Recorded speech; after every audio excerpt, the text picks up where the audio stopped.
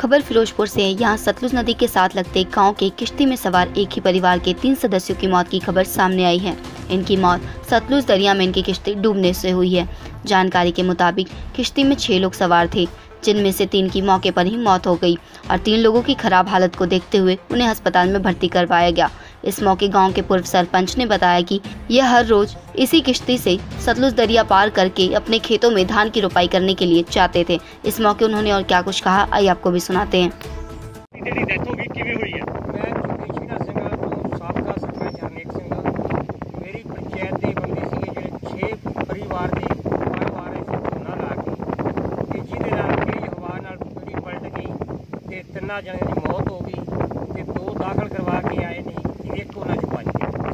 ਤੇ ਇਹ ਇਹ ਉਧਰ ਕੀ ਕਰਨ ਗਏ ਸੀ ਕਿਸ਼ਤੀ ਆਪਦੇ ਖੇਤਾਂ 'ਚ ਝੋਨਾ ਲਾਉਣ ਤੇ ਰੋਜ਼ ਹੀ ਲਾ ਕੇ ਆਉਂਦੇ ਸੀ।